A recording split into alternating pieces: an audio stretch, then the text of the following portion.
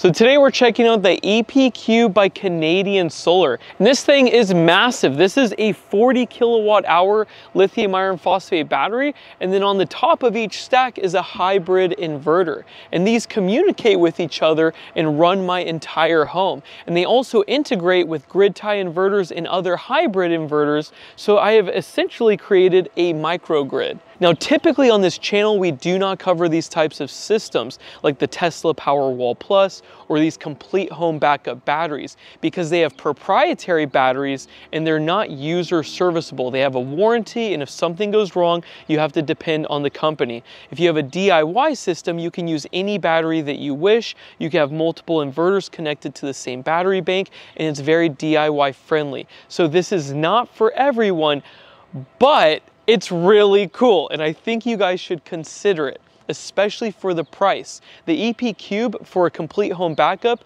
is like the cheapest in its class, but it has features that the other ones don't. It's not as cheap as a DIY system, but like I said, I think you guys might like it. I would say that this is the most DIY friendly one and we'll talk about why in a second.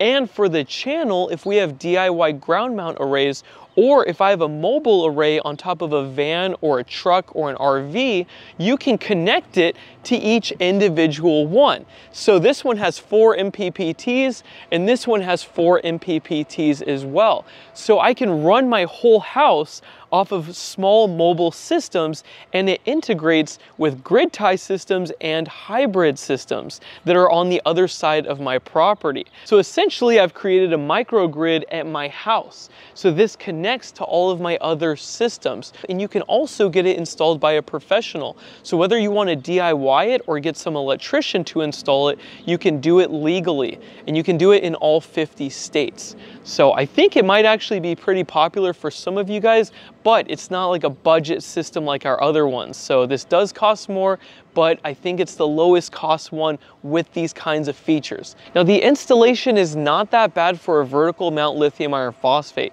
because if you have a Power Pro or a Tesla Powerwall Plus, those things are 300 pounds and they're very hard to mount on a wall all by yourself. But with this system, you have modules that are 70 pounds each. So one person can actually install this entire system on their own. And this is a high voltage battery for efficiency. With this entire stack this actually runs at 240 volts DC. Now these batteries are heavy, so you have to use these large brackets. And the first bracket actually connects to this shelf, and then you stack the batteries on top of this shelf. It's pretty easy to stack the batteries, but mounting these brackets can be quite difficult. It does come with a template, but a lot of the installers that I talk to actually like to do them one at a time. So they mount the battery and the bracket on the wall, they mark it, and then they remove the battery, they mount the bracket and then they put the battery back on. Or you can use the template, it's up to you. Now on top we have the inverter and the solar charge controller. So this is where you connect your solar panels and this is what connects to the gateway. And I'm gonna show you the gateway. The gateway connects everything. It connects the grid to your panel and to these and also EV chargers and other grid tie inverters. So we'll get to that in a second, but this was pretty hard to mount because it's so high up and it's pretty darn heavy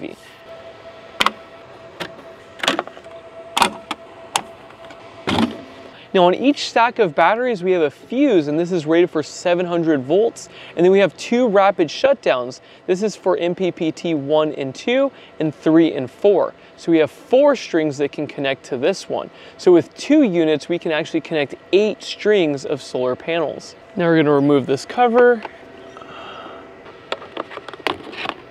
Okay, very dangerous. You do not want to touch anything in here, especially the high voltage DC. But over here we have the communication cables and this is CAN bus. And it has Tigo rapid shutdown built in. And this is what connects to the gateway. So if you're using it as an AC coupled battery like I am, this is where you connect it to your system. And then this block down here is for connecting your solar panels. And over here is where the batteries connect. And there's a plug like this on every single battery when you stack it up. Now the batteries connect to the gateway, and this thing is the most important part of this system. This is the brain, and this is what goes between your meter and your panel. Also, it serves as a sub panel and you can connect loads and grid tie inverters and you can actually monitor them. So these grid tie inverters over here that are made by Delta, they actually connect to this and I monitor it on the EP Cube app. Also, we have an EV charger that's also connected and monitored by the EP Cube system. And whether you have one battery or two or six, they all connect to this.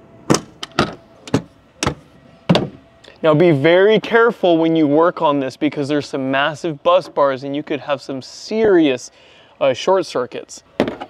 So very dangerous. You do not want to touch anything. We have these massive bus bars right here, a huge contactor in their CTs.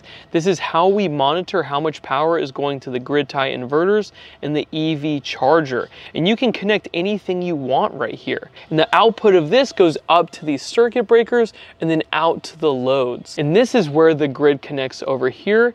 And this is where your load center connects for your house. And this is the communication system that talks to the batteries through CAN bus through this cable right here. And this is the communication board for remote operation with the app but pretty darn impressive. It makes me nervous having this much exposed conductor at that voltage next to my face, but this is the brains of the system and pretty darn impressive. I actually didn't recognize anything in here and I was like, hey, are you guys making this on your own?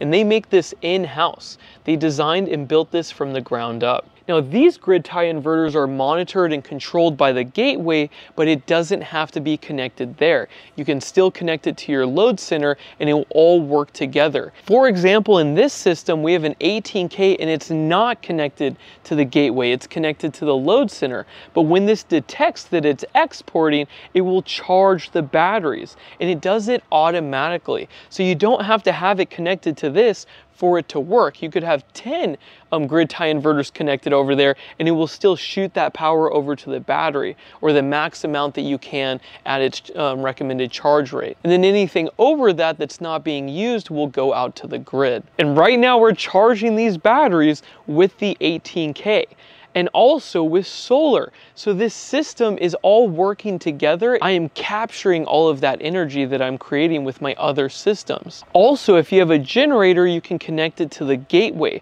That's why there's contactors, voltage sensing leads, and CTs is specifically for using it with a generator. It will actually match the hybrid inverter's output to the generator's waveform so they can work together. Or you can use it with EV chargers or grid tie inverters. It's really up to you. Also, you can add loads without monitoring them. So you have quite a few. We have another spot that we could put a 240 volt load onto this panel with but pretty versatile and pretty nice. So far, I haven't had any issues. Also, the monitoring updates in seconds. When I'm trying to figure out how much these are using, there's like a 10 minute delay.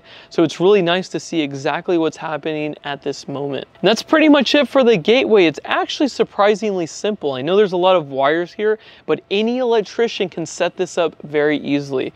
And any DIY type person. You just cut some holes, add the conduit, and then run your cables and you're done. Now let's put the this cover back on because this thing is scaring me. I do not like this. Those bus bars just, oh, they creep me out, man. Also, setting up your system for monitoring is very easy. I'm used to off-grid inverters that are quite a bit lower in cost, and going up to something like this is really nice. It has step-by-step -step pictures and it tells you exactly what to do. Um, I really wish they could do that with the off-grid inverters, but maybe someday they'll get there. Even with the 6000 XP, like I think they could have designed that interface to be nicer, like I said in the previous videos. But yeah, this this thing, I mean, you get what you pay for. When you spend a bit more, you get a really nice software interface that people have actually thought through and really, you know, thought about every possible use case scenario. It's hard to go back to the cheaper stuff when you try the nice stuff because it's really, really nice when it comes to solar. But yeah.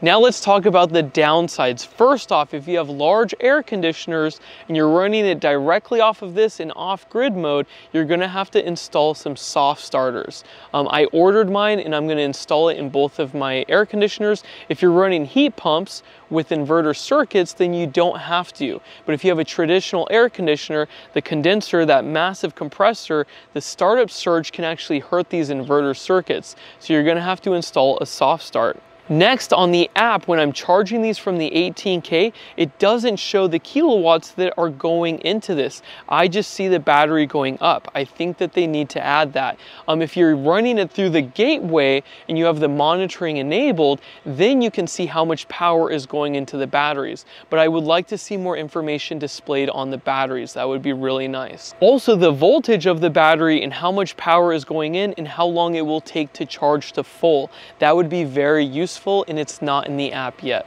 Next, this is minor, but this cover is very flimsy. I wish they had a hard piece of plastic for covering up these boards instead. Next, I do not like this disconnect box and I think they need to develop their own product to make the installation easier for people with this configuration of meter and panel.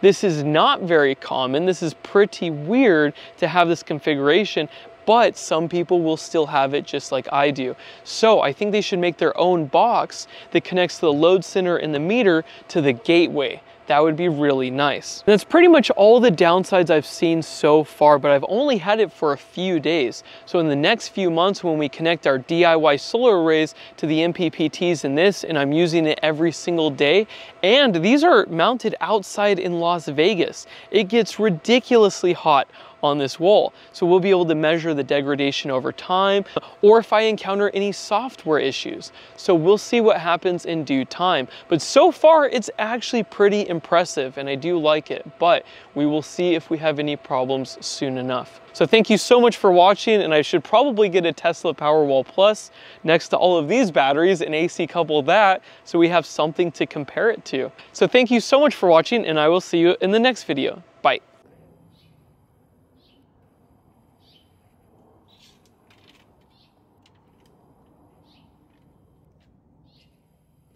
Working for National Geographic. Look at this. Come here.